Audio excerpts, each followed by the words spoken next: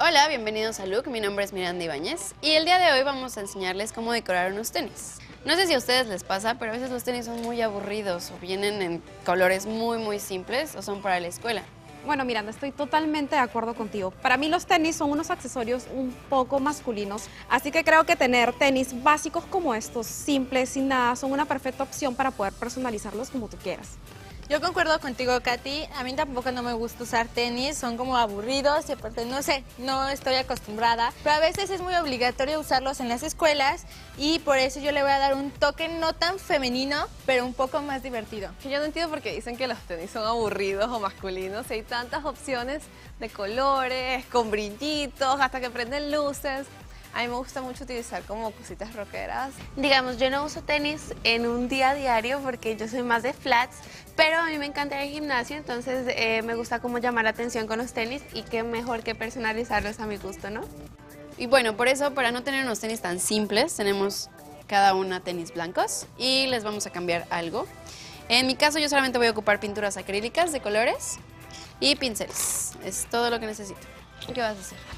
Yo, por supuesto, voy a usar materiales muy femeninos. Voy a usar glitter metálico, pintura plateada, que está muy de moda. Los colores metálicos están súper en estas temporadas, así que voy a pintar mis zapatillas todas metálicas. Voy a utilizar una esponja para poder tener una textura más suave y no se vean muchos pincelazos. Y tal vez un pincel reque chiquitico para pintar en los bordes y me quede más prolijo.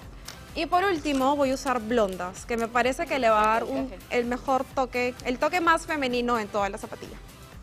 Perfecto. ¿Y tú, Leslie? Yo nada más voy a utilizar pintura acrílica plateada y dorada y dos taponcitos de tu pintura si viene en envase. Estos taponcitos puedes utilizar, si no... De refresco. ¿no? Ajá, sí, De o si tienes más chiquitos también, Ajá, de si tú quieres. ¿Qué vas a hacer? Eh, bueno, como dije, a mí me gustan las cosas que son rocker y femeninas, así que voy a mezclar las tachuelas con también acrílico, pero voy a utilizarlo fucsia. Ustedes pueden obviamente utilizar el color que más les guste.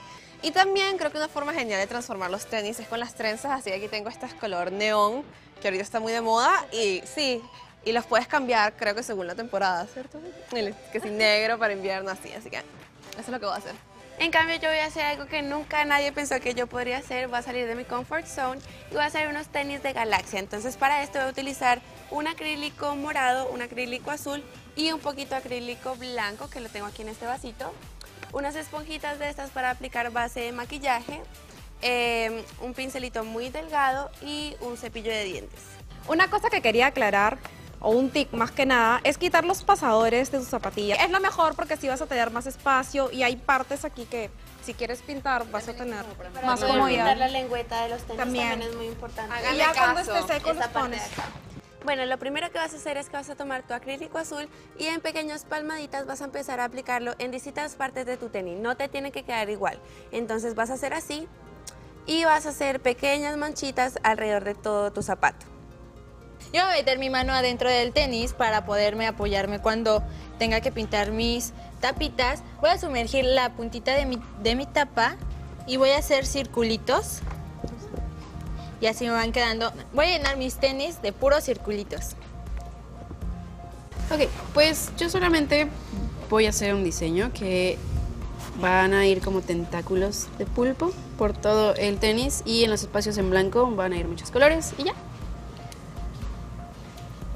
Lo que yo estoy haciendo es pintar absolutamente toda la zapatilla con pintura plateada y luego voy a usar escarcha para cubrir las costuras de la zapatilla y por último voy a poner encaje o eh, bobitos, como ustedes le llamen, a la parte de atrás. Aquí como va a quedar como un vuelito.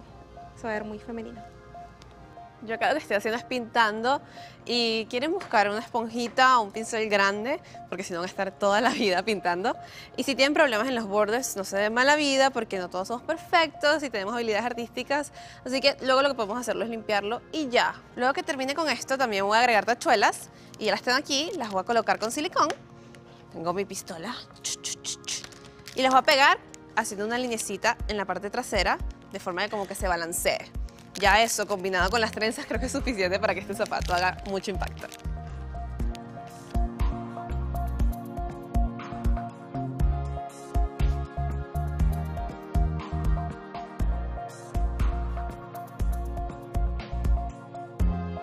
Yo te recomiendo hacer primero de un color todas tus bolitas para que con el, para que con el otro color termines los detalles y los huequitos que te, que te hicieron falta.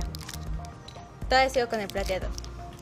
Es un poco tardado porque, bueno, soy como muy perfeccionista y quiero que quede bonito. Apenas llevo como los tentáculos, aún faltan las ventosas y todos los demás colores, pero van a quedar bonitos.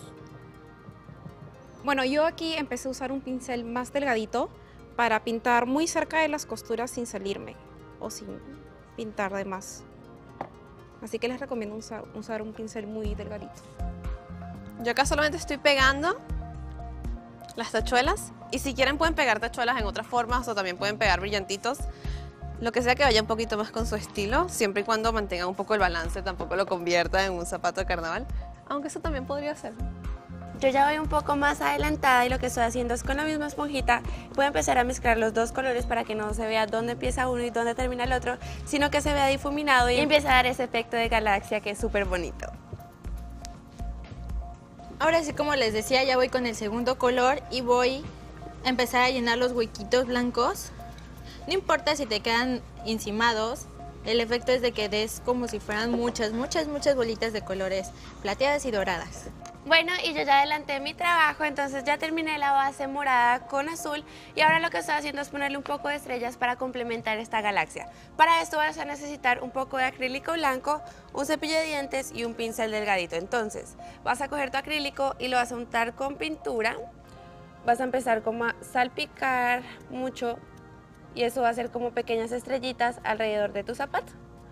Ok, entonces digamos que ya te quedan las estrellitas y ahora vamos a hacer unas estrellas un poquito más grandes. Entonces vas a coger tu pintura y haces punticos eh, por toda parte. Y listo, ya tienes tus zapatos listos. Yo también medio avanzado y de hecho decidí ponerle más tachuelas a los zapatos porque sentía que no se iban a apoderar demasiado, más bien balancean bastante el look.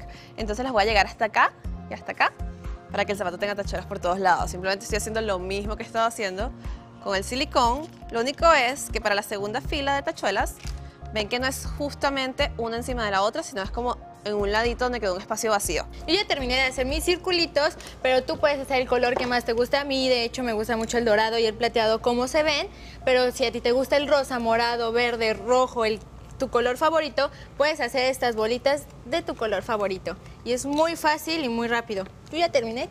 Yo todavía he avanzado un poquito más, puse con un pincel delgadito y un poco de cola. Estoy untándolo en las costuras de la zapatilla y luego con otro pincel estoy usándolo como escobita para poner escarcha encima. Y pienso hacer esto por todas las costuras que hay por aquí. Así que ahorita ya termino. El chiste del diseño que yo hice es solamente pintar de distintos colores los espacios que quedan entre los tentáculos y todo el espacio que queda de tu zapato. También haciendo como divisiones aunque no existan para que pongas varios colores. Ahora que mis zapatillas están todas pintadas y mis costuras con escarcha, voy a poner un poco de encaje en la parte de aquí atrás, así que ya me di lo que voy a necesitar. Sí, y ahora con cola voy a poner una capa muy finita. Y es muy importante que pongan pintura plateada en este lado también porque así va a ser un poco de contraste con el encaje. Porque si ponen encaje blanco sobre zapatilla blanca no se va a notar mucho. Bueno, ya todas acabamos. Unas fueron más complicadas que otras, ¿verdad? Aunque no ocupe muchos materiales, me tardo mucho dibujando sobre tela. Y, a ver, ¿cómo quedó el tuyo? Que a todas les gustó mucho. Así. Este es demasiado para mí, por lo menos. No creas, a mí me No, encanta. igual, ¿sabes? Me hubiera Sí, gustado muy como padre. que el Yo lo veo encaje... súper. ¿Súper qué? Madonna. Sí, Sí, pero hubiera estado padre, bueno, no sé si es exagerar, que el encaje fuera como en la parte de afuera. ¿Has visto esas calcetas que tienen encaje arriba? Eso es lo que Sí. quería, pero hubiera quedado mucho mejor si era tipo botín. Claro. Bueno, Ajá, ajá. ahí hubiera Sí, quedado perfecto. Sí. ¿Y tú, Mari? Em, bueno, yo combiné el estilo ese que digo que es rocker chic. Y sí, a mí me parece. Es muy de mi estilo, creo que bien. los pod- podría poner ahora mismo, totalmente yo. Pau, los tuyos quedaron perfectos.